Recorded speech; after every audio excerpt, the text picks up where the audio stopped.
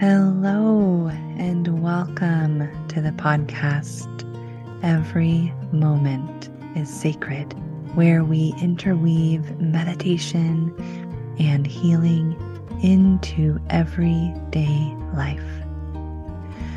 I am your host, Rain Elizabeth Stickney. Now, let us begin. Do you believe in a world of possibilities? Sarah Cross does. She is a master storyteller. She lives in New Zealand. She has traveled all around the world. She has a wonderful podcast called Stories That Wow. You can find that podcast on any podcasting platform, specifically Apple and Spotify. Two of my favorite episodes on Sarah's podcast are the one titled My Story and also the interview with Kathrine Switzer, who was the first woman to run the Boston Marathon. Sarah is filled to the brim and overflowing abundantly with insightful stories. Some of these stories she tells to her family. She has children and a husband. Some of these stories she hears and she picks up along the way. Some are from various countries, and some stories she seeks out to support her writing projects, like speaking with elders specifically people in their 90s, listening to their stories of their lives and hearing their wisdom and what everything looks like from their vantage point. Sarah is a second time international best selling author. Her books are Ignite Happiness and Ignite Your Wisdom. I will link to all of Sarah's information in the show notes. You can find her on social media. Her name is spelled with an H, Sarah, with an H at the end, Cross, C R O S S. Sarah is a lover of life. She is a storytelling coach. Look up her program, The Art of Storytelling. She has so much to share. I'm happy to share with you this conversation that she and I had together. And you will hear a little bit about her own healing journey with eczema and also many, many, many healing moments with stories and gratitude in general. You might notice how the sound is as I'm speaking to you right now, my beloved audience all of you, dear listeners. My mic is fixed. if you listen to this show, Every Moment is Sacred, you might have heard some episodes with some funky sound or me mentioning that my mic broke at some point, and it did, and it is fixed. So we are back in show business here and to celebrate voices, my voice, Sarah's voice, voices from around the world, all of us finding our true voice, I invite you to listen to all of the episodes of my podcast that call your name. This is number 23. So you have plenty to choose from now. If you haven't already shared with a friend, rated, reviewed, subscribed so you get to hear the newest episodes first, please do so. That helps spread the word that every moment truly is sacred in this life, just the way it is in this world, just the way it is. And healing and meditation, and specifically the healing power of meditation all belong in our daily life if we choose to turn toward them. if we choose to embody and look for and practice the healing, if we choose to breathe into meditation and see what it has to teach us. All of this is available every day and in celebration of voices that heal and voices that share meditation. Please support this show. Another way you can support the show is you can visit me on Patreon, patreon.com slash Rain Elizabeth, and you can support the show there as well. Thank you so much for being here. I am delighted to present to you Sarah Cross, Master Storyteller, in this episode that I like to call The Gift of Stories with Sarah Cross. Hey, Sarah. Hi there. I'm so happy to be here. Oh, I'm so happy to have you. I'm so delighted that you are a storyteller and that I get to speak face to face with a storyteller. Thank you so much because I love stories so much and it's something that I'm very passionate about. And I think we all need more stories in our lives. We need to tell more, we need to listen to more. And so it's lovely to be here. Do you have a favorite story? Oh, that is such a great question. I have stories that I have heard from other people that have really shifted the way I think by just hearing one story. And so I personally know that stories can be immensely powerful.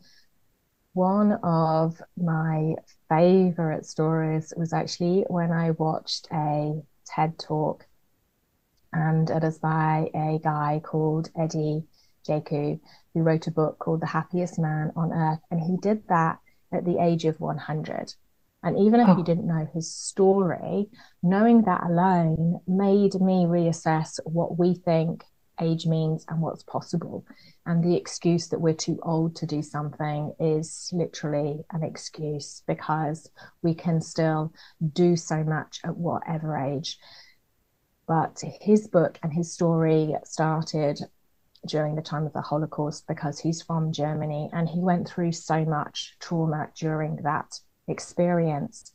And your heart obviously just goes out to people that really went through so much, both mentally, physically, spiritually, in every dimension. And coming out the other side, that he was not happy, mm. which is what something you would totally understand.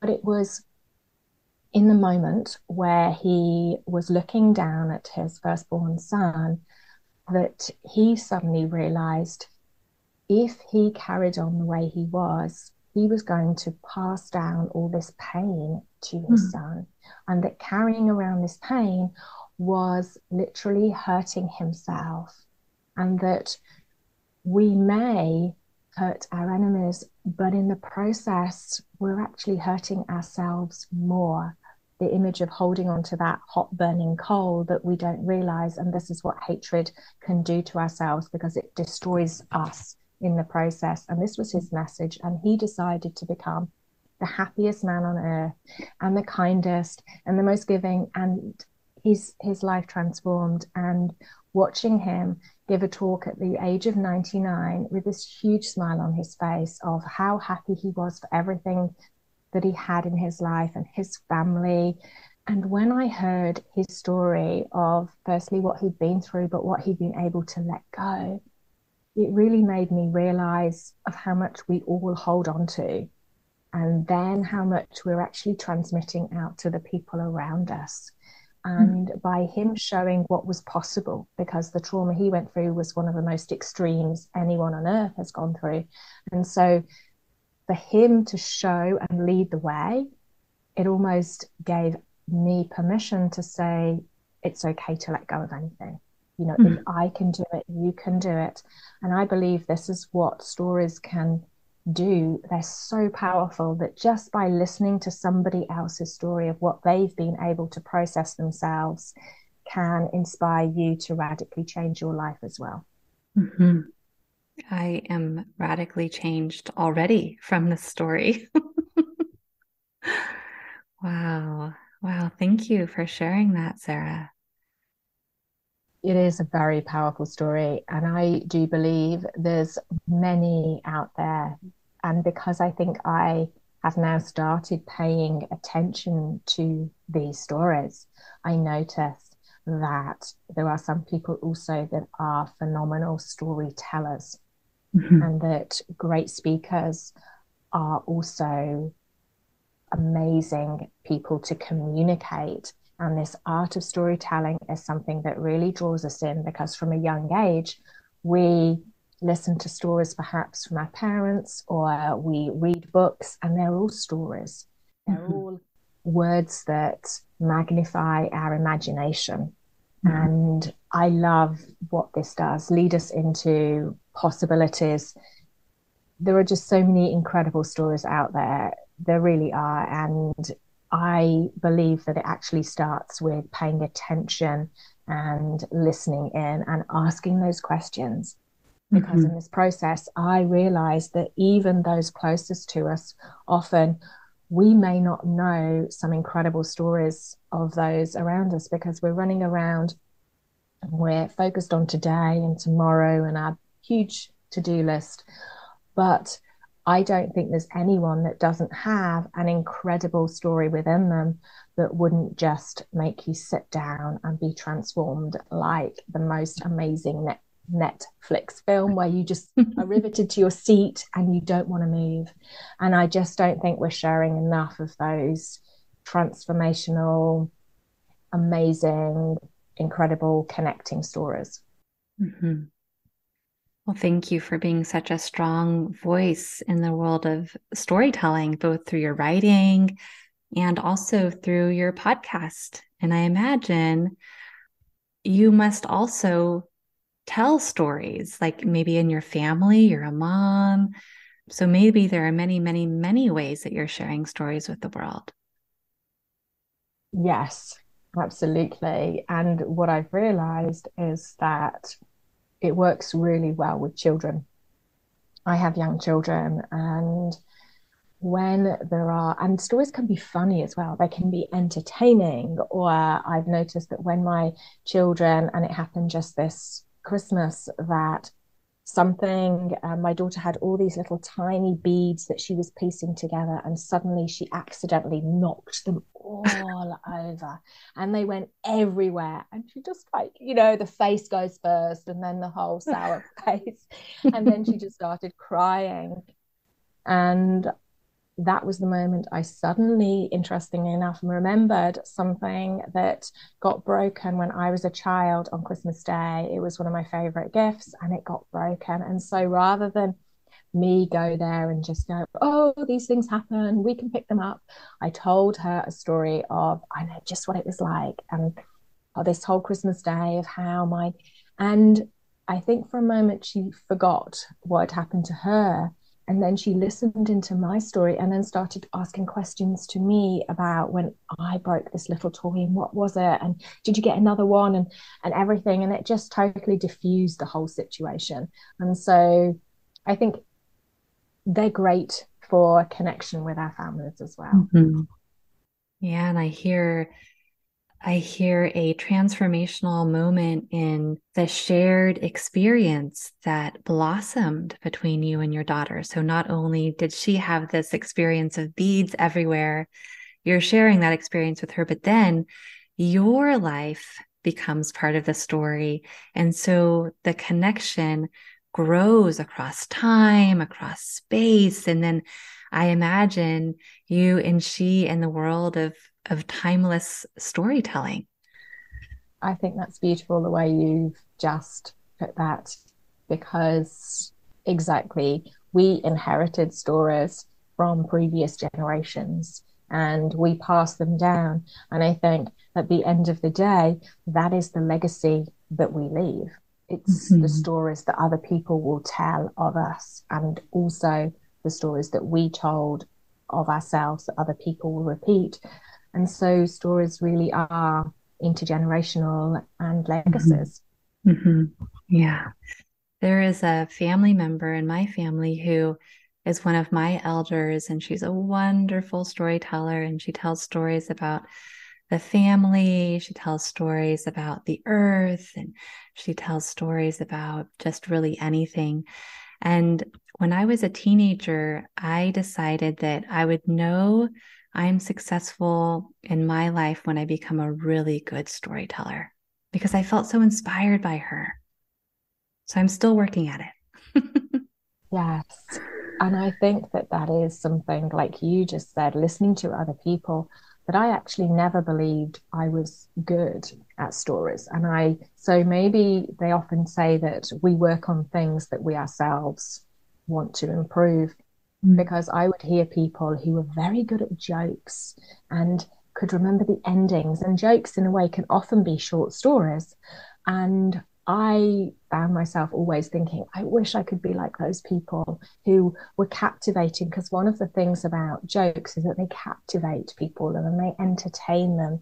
And so, like you, I always looked up to people who were very good at that. And I think this is now why I really enjoy working on it because I believe it's also a skill set that you can mold and improve and get better at. And so we can all take a little bit of a further step towards those people that inspired us in our childhood. Mm-hmm. Yeah. And I feel inspired by you as well. And I find that for me, stories can be healing. Do you have any good healing stories in your life or just any healing that's present for you today? One of the biggest things that has been for me in this past year is that over time I have had huge transformation with my skin and particularly my hands because I grew up with eczema and it was in different parts of my body. And then later in life, as an adult, it went more to my hands, which meant that everything that I touched. And you don't really realize until you have an issue with something that is so practical because you touch so many thousands of things all the time. And anything that basically contained a liquid of some description would tend to dry my hand. And to the point where it was very hard to move it, very painful. But at the same time, I also was so used to it that I would just move through it. But it's been this year, this last year rather, that I thought, what if? What if I am able to be active in being a part of this healing? And that rather than thinking this is something that I'm stuck with, that to shift that story and say, what can I do? And so I did so many things across the board, and I can't be sure, of course, that any one of them was the reason. But I do believe that investing in your health is one of the best things that you can ever do. And so my key was not actually to heal my hand, my key was to make my immune system as strong as it could be. And I think it was probably triggered by COVID as well. I'm thinking, mm. I don't want to get ill. And I've always had this these words actually that although my skin was bad, I would say, oh, I never get ill. So I think these stories we tell ourselves are so powerful because when you look to the science behind that, the positivity and the boost and the energy, um, they've proven time after time as well. And I know people who work in, in cancer areas that those with a positive mindset always heal much faster, much quicker, have a better rate of recovery. Mm-hmm. The way that we think really impacts our body physically. And so we all know that if we're depressed or down, then that has a physical reaction. But I started looking to the other side, like if the negative has a negative effect, the positive can have a positive effect. So, what if I truly believe that my skin will get better? What if I creatively visualize it being 100% better? And then what if I back that up with making sure that I have the healthiest diet possible, which I went on a kind of probably two month detox of getting rid of a lot. And I, I consider myself to be quite a healthy eater. But I took lots of, I read a lot, so I took lots of little things like from Dan Buettner, in his blue zones, which are areas in the world where people live, there's a large amount of people, centenarians over the age of 100. And one of the things they have is they eat a lot less meat. They might eat meat like once a month. So I thought, you know, what if I take that idea and I eat a little bit less meat? And everywhere you read, pretty much everyone says green, leafy vegetables. Green vegetables are the big healers. So what if I add more of those into my diet? And I still have the water and I exercise pretty much every day because exercise as well, when you listen to that, not only gives you those boosts of the chemicals, but actually is known to heal. So, what if I do as much as I physically can? And then the extra nutrients that may be missing from my diet because I don't eat dairy. So, I looked and then I discovered along this way there are all these things that we presume a lot of our food is packed with certain nutrients, and yet the nutrients, of course, come from the soils. And so, if the soils aren't very good because we are, as a, as a planet, not investing enough in the quality of our soils. And so, I found that there's lots of nutrients that ironically later i discovered people with skin problems often suffer from certain nutrient deficiency and so i mm-hmm. added those into my diet and all these different, and then um, working on your positive mindset. And so all these little things that I did came to the point where I suddenly, in the last couple of months almost, just realized that my skin's good. But this time, it just feels different. It mm-hmm. feels like it's healed because before, every time I would literally touch water, wash my hands, and unfortunately, with COVID and having to put all those pumps and things, were just destroyed my my mm. hands because they've got quite strong things in them. Um, mm-hmm. And so to the point now where I feel allowed my body to heal itself. And I just gave it the boost it needed to be able to get back to where it wanted to be. Mm-hmm. Wow. Amazing story of healing. I love all the work that you did. And I get a feeling of joy as you're talking about it, like as though you're a computer of healing, but I get a joyful feeling from your description. Thank you. And that's one of the things now is that I am so grateful for it. And every single day, I literally look down, probably several times a day. I look down at my hands and my skin and I go, oh my goodness, my skin is so incredible. I'm so grateful for it every single day, which I wasn't always able to say because we use our hands so much.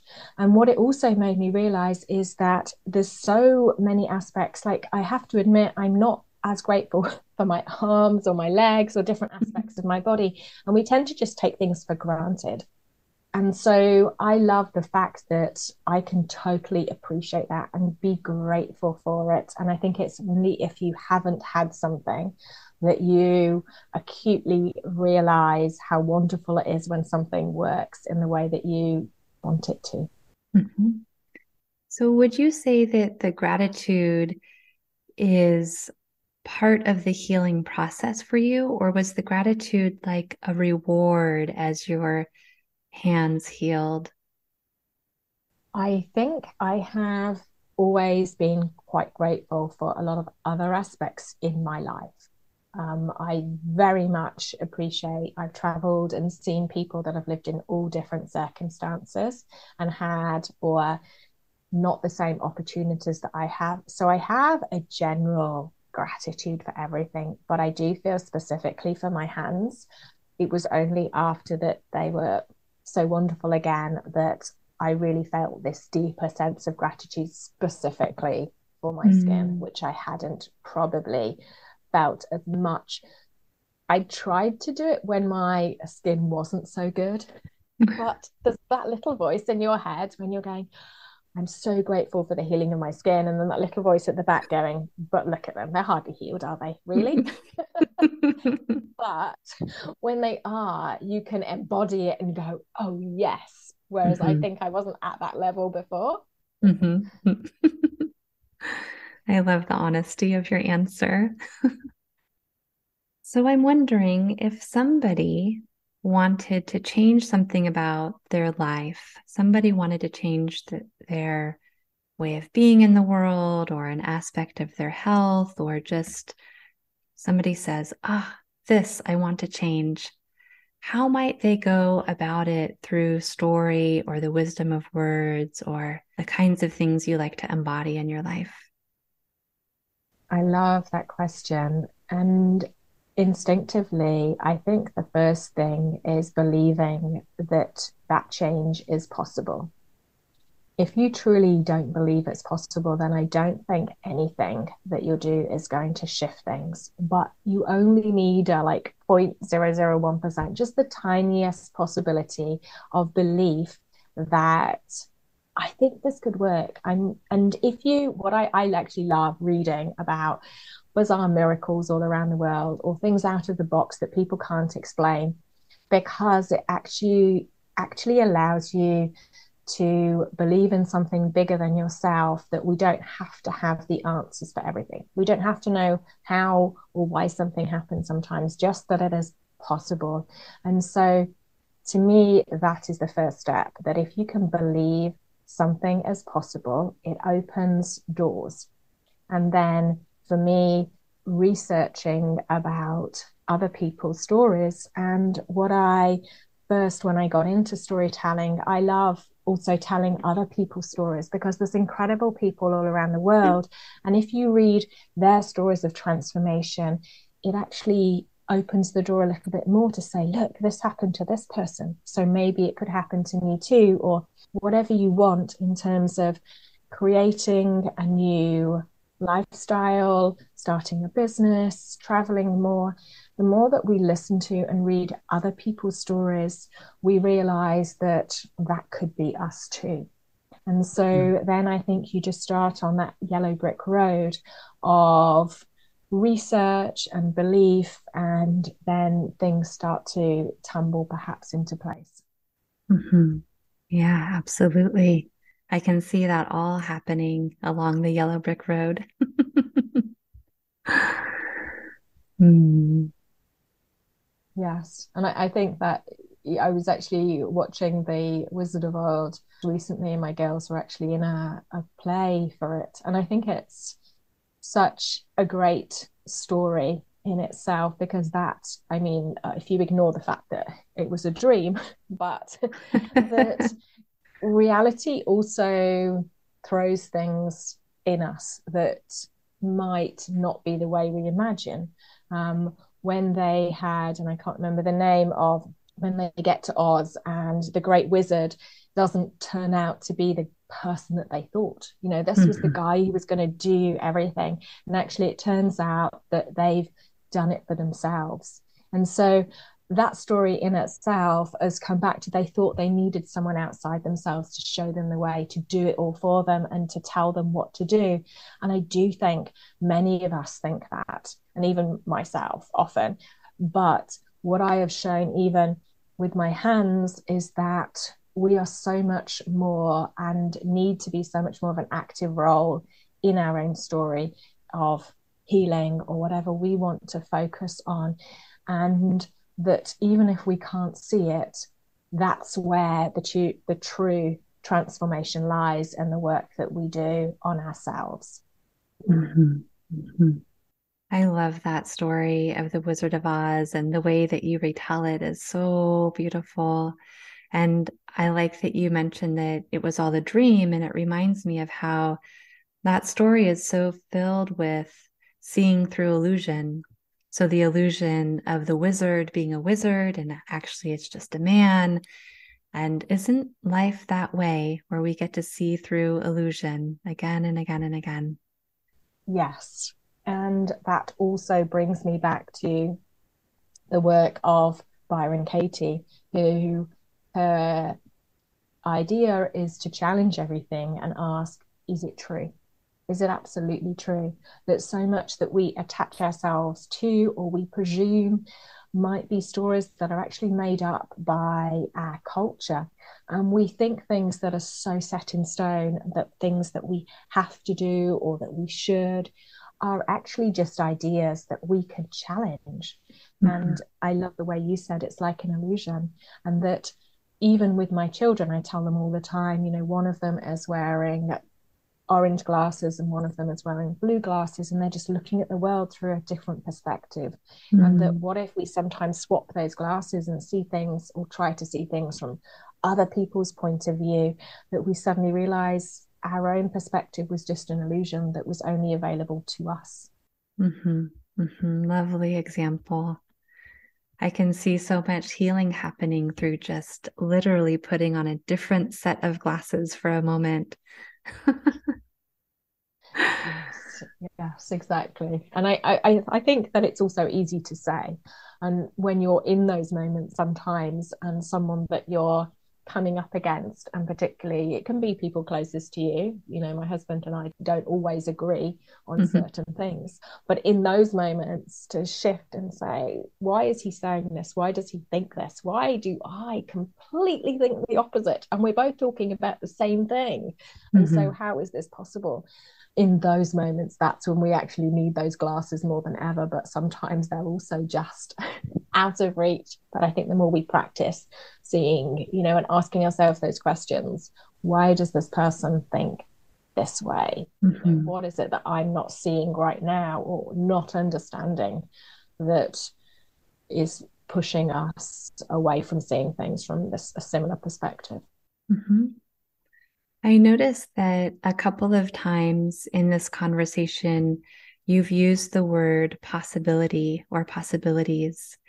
And I'm thinking about how a person needs to be open to new possibilities in order to have the courage to put on somebody else's glasses or see from somebody else's eyes.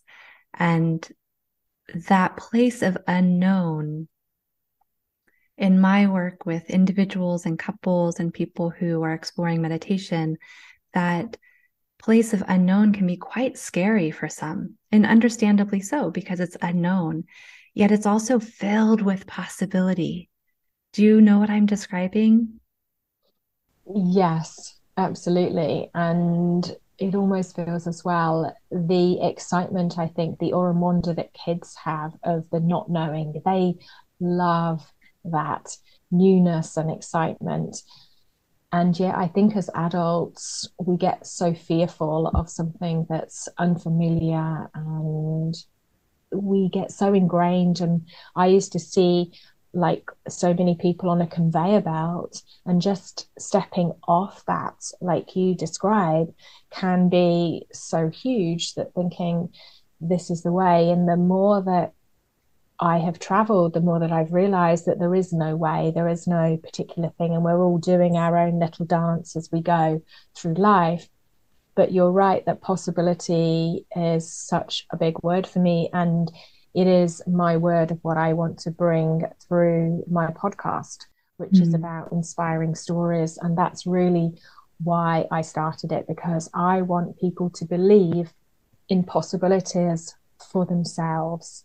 Mm-hmm. And like I said before, it doesn't have to be that you know all the answers or know the direction or know everything. It just has to be that start of a belief. But like you say, that's that's not always easy if you've been ingrained in certain cultural or environmental beliefs that are very hard to step out of. Mm, good point. Good point. And your show, your podcast is called Stories That Wow. Is that right? Yeah. So tell us a bit about where you've been. I remember you saying that you were born in the UK and you're living in New Zealand now. And I've heard some of your stories about some of your travels and, and tell us a little bit about what have you seen in the world? Where have you been? I have been very grateful to have traveled lots of places. But I think the more you travel, the more you realize how much bigger the world is than what you can ever see. And so, really, I have spent a lot of time around the Mediterranean, and I love the all the different cultures there, the different languages. And one of the things I used to love the most were the different food markets in these different cities and towns because it's the hustle and bustle of the real authentic daily life that people are living and you get to see what people grow and interact and I absolutely love markets. I believe they're a real insight into a country. We also spent a couple of years in Southeast Asia and were there during the 2004 Indonesian tsunami, which was a whole mm. adventure unto itself. And then a couple of years in the States, mainly on the East Coast and also um, Central America, Panama. Um, so a few places, but I also feel like that's so small in, in consideration with how big the world mm-hmm. is. But mm-hmm. I love seeing different people from different cultures because I believe we all have so much to give to each other and learn from each other that we then see that we can take on different ideas and that we don't have to accept the ones that were given to us when we were brought up. But, oh, look at the way this is being done. And I think that awe and majesty to recognizing and that's i think what is so amazing when you go to new places is the fact that everything's new and different and i think when we live in the same town and same city for our whole lives everything around us becomes very familiar which is why i think stepping out of that is very hard. Whereas when we see how different things are and we get so absorbed in the moment in different countries we have that sense of wow or oh look at this. This is so different. And it's so enticing and so wonderful that we realize we are just a world of differences but there's so mm much beauty in that as well mm-hmm. absolutely I love that phrase, a world of differences. I feel the holding of unity and yet the honoring of all of the very, very special points of light, as though no point of light is the same, yet we're all in it together. Absolutely. And I think, like flowers, that there are so many varieties of flowers, there's so many different colors, there's so much beauty. And actually, often when you see fields um, that are full of all different types of flowers, different sizes, different heights, it actually enhances the field. And mm. so I think that's the same with us as people. We are enhanced by being exposed to different cultures and different people and different ways of thinking. Have you heard many stories from different cultures and different countries? I have. And I'm thinking that right now there's not one that specifically springs to mind, but what I am reminded of, and when we were in Malaysia, and it was the first time that I'd been exposed to Muslims physically being in a different country and not through the news. And when I got there, I was like, oh my goodness, these people are so similar to us. and I had discussions with people that the fact that um, we're all maybe um, Christian or different religions are all based around the same theme of love.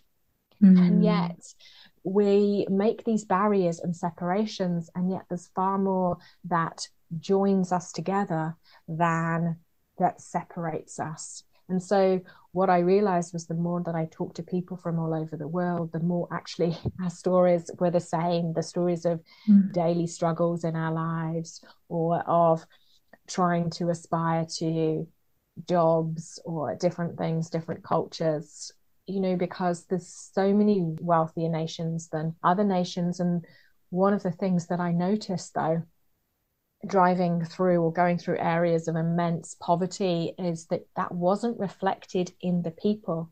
You know, we often assume that people who have so little are in total despair. And I'm not to say that isn't poverty hugely impacts lives and it's something that is a huge world issue. Mm-hmm. But I also saw people in Thailand and in Malaysia and places that to me from the outside looked like they didn't have much, but they looked so happy.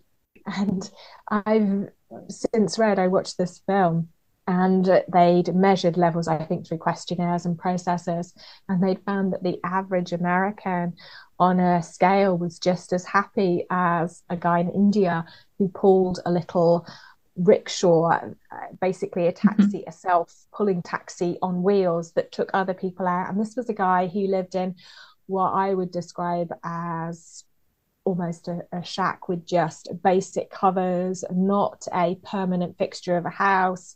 He'd have to pull people around in all types of weathers.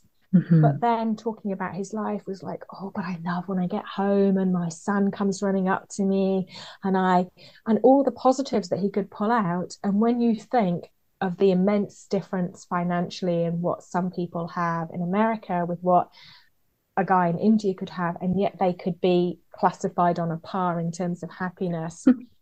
it is so interesting. Amazing. I love all the stories that are coming through you today. I just, I get so many different visceral reactions. My body is responding to all the stories that you're telling with heat and warmth and tingles and imaginations. So I really appreciate your ability to just share and tell stories so easily. Is it easy for you? I think it's something that I didn't think was easy for me what I have started to do is really tune in and focus. But I also realize there's so many aspects to our life that we sometimes undervalue.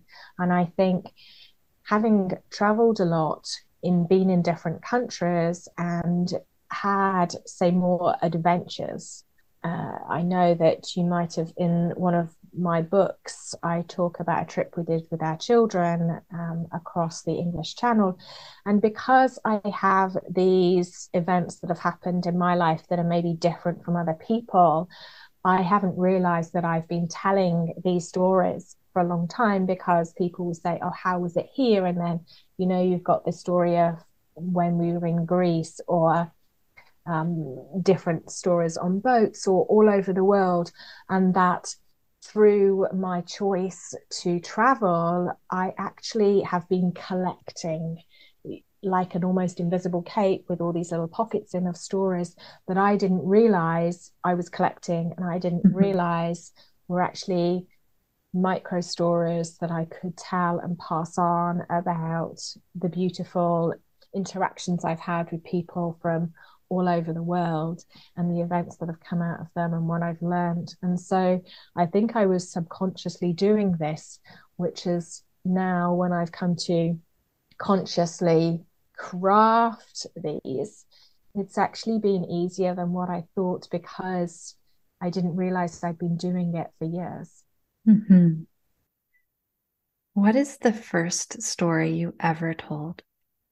That is a really great question. The first story I remember writing as a child, and this is what also so interesting when you look back, is that when I was about 10 years old, I was given the task of writing a mini book and start, middle, and end. But I think it was the first task we were ever given at school to write something where it could be prospectively for other people normally you just write i think uh, or i did a lot you're writing either about something like birds or trees or how they work or you're writing about what you did last weekend.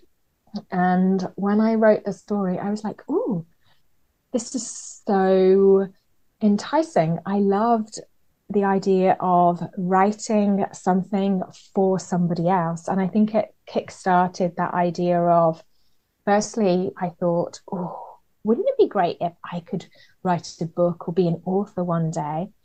And also the fact that stories can be for other people. And so mm-hmm. that's one of the early memories I have of really loving the idea of a story from me could be for somebody else. Mm-hmm. And what a great gift to share a story. If somebody came to you, like me, who is esteems to be a storyteller one day, what are some tips or tricks about storytelling that you know? I think what really boosted my confidence was when I had to write the story for my first book in Ignite Happiness. And it was about this trip we did with our family. And I think there's something special about when you write a story down, is that you collect the words together. And so then to retell it in a purposeful way became much easier for me. And so, if I think there's a particular part of people's lives that they know would benefit other people, there's something quite magical in just writing things down because it allows you to notice what words you're using because mm. words are very powerful. And also, what you will then do is you will bring the story to a nice ending. And this is something that I realized like I mentioned earlier with the jokes, that I wasn't very good at. And so when you write a story, you often will bring it to a, a purposeful ending or a punchline or some takeaway. But I didn't do that when I was telling a story, I don't think. And so, what it has really helped me to do is before I even start a story, think, how do I want this story to end?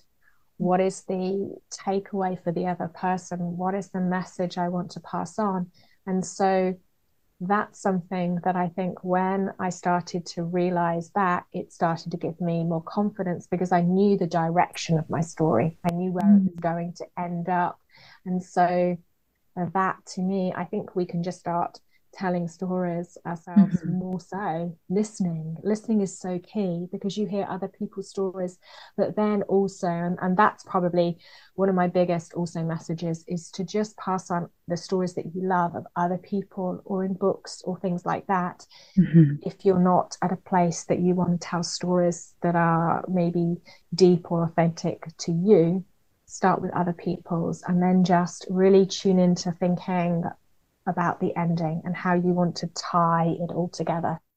Mm, beautiful.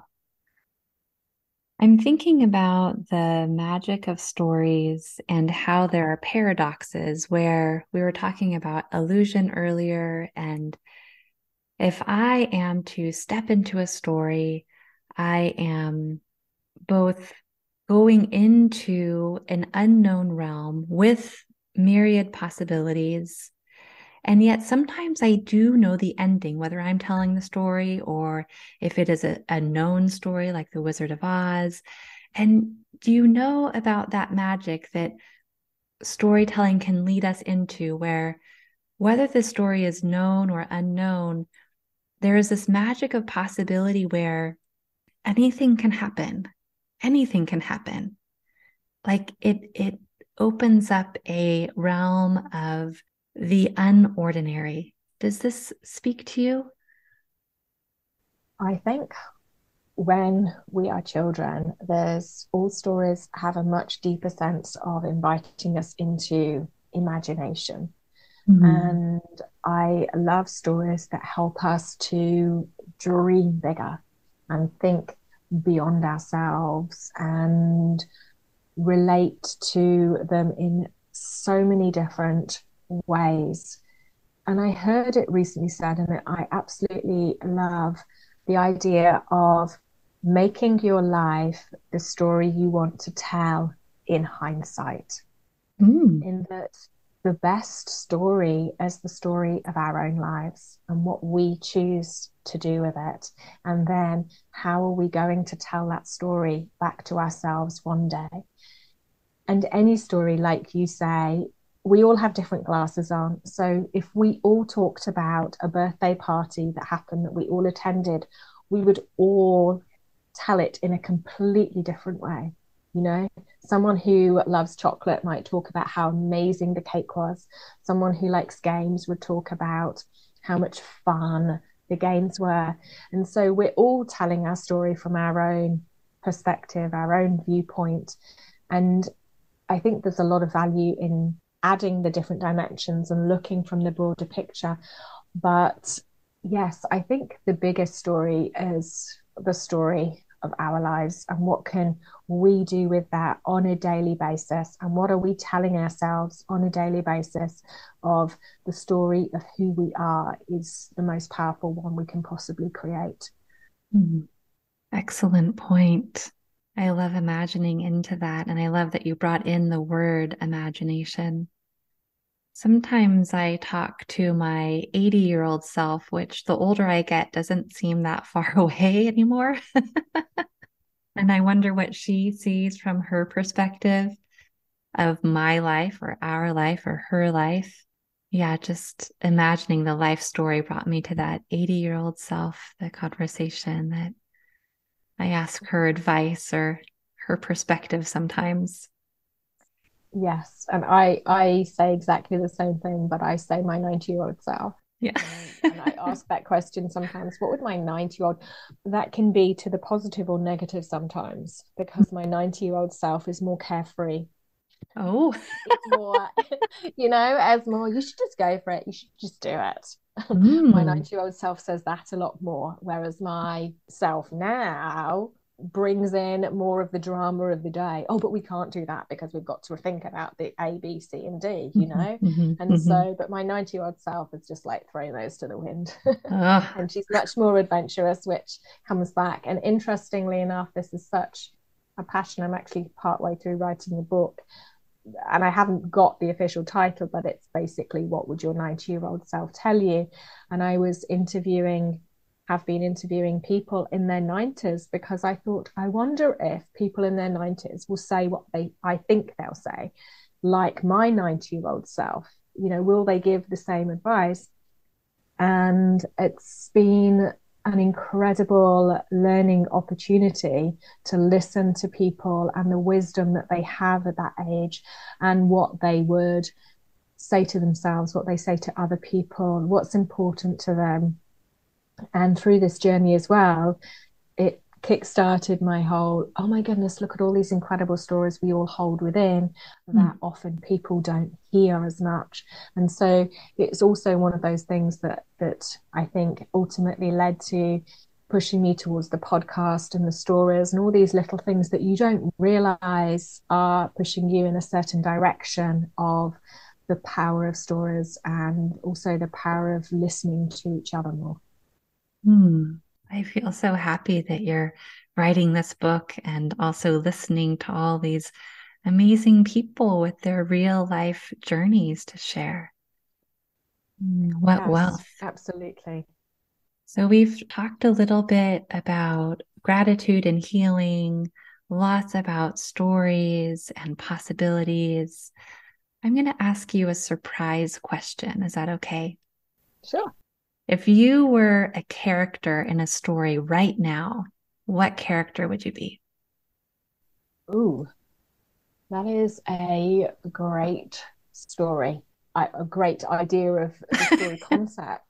Because I was thinking this year, I the word I've chosen for this year is wild, which I chose it because I've decided to not instinctively overthink things as much as I have done in the past. And that if you feel pulled to a particular word, when I looked at a whole list, this is the one that, you know, seemed to stick out a little bit. And maybe it's because we're also going to be doing some traveling this year. We're going back to the UK and we've got some ideas that involve boats, water, and we're not got those specifically lined up. Um, but at the same time, me wanting to expand my business. And I think as um, as women, we can often come up against a lot more overthinking than perhaps men do. But I was thinking recently of if I was to draw a little character, and I was actually looking up the words because I don't know the words, that maybe someone who is, if you're going through a jungle and you imagine like a little uh, a little girl but those swords where they kind of bend round that if you're going to go walk through a jungle mm-hmm. how you have to slash everything to clear the way and have that and be a little bit of a like warrior an adventurer a let's seize life because I truly believe that we just don't know what's around the corner. And so I don't know the name of this character, but right now, that's where I feel like let's go let's seize the day let's you know walk through this forest that's got so many things but it's okay because i've got this huge knife and i can carve my own way to wherever we need to get to oh wild storytelling I love this character. I can see her. I want to know everything about her and exactly where she's going and what she experiences. Thank you. Hmm. Well, thank you so much for being here with us and sharing your words of wisdom. And is there anything else you would like to say to the world or the future storytellers or the brilliant storytellers that are out there already sharing their words of wisdom? I think what has come up today is my biggest hope is that everybody believes that if they have a dream of whatever they look forward to, that, like we've reiterated, that there's a possibility out there for them of something. And it's often not as hard as what you make up in your head that it's going to be. And that every day is this beautiful gift, really. I think that is, we don't often appreciate at the time, but I know that looking back, our 90 or 80 year old selves will definitely recognize more than I think we do in the moment. And so, thank you very much for this honor today of speaking with you. And I look forward to the future and seeing where we're going. And if people want to be inspired, then tune in to my podcast, Stories That Wow, or reach out and connect with me because I also believe that we are all phenomenal storytellers in the making, that we are all able to master storytelling and get better at it and then bring us in because the art of communication and the way we interact with people is so key to everything that we do. And so, whether you are talking to your children or you're talking to your husband or at work, because marketing is also storytelling. And so I think this is one of the most beneficial things that you can invest in you is to become a more confident, happier storyteller. I feel it. I feel inspired by you, Sarah. Thank you so much.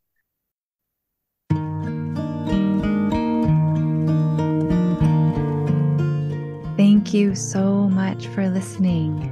It has been a great joy to have your presence here in this podcast. I welcome you to celebrate the joy and wisdom in your life exactly as it is. And I welcome you to feel loved, fully loved, exactly as you are. www www.rainelizabeth.org.